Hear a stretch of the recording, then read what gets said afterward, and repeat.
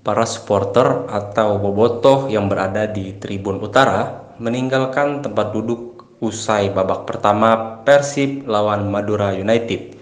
Diketahui sebelumnya, kelompok supporter Viking Persib Club menyerukan aksi untuk melakukan tutup mulut sepanjang pertandingan berlangsung, membatalkan rencana koreografi hingga meninggalkan stadion saat laga memasuki menit ke-75 meski tak semuanya melakukan, yakni untuk merespon penerapan aturan baru soal penjualan tiket pertandingan perdana Persib Bandung di Liga 1 musim ini dinilai mempersulit Bobotoh.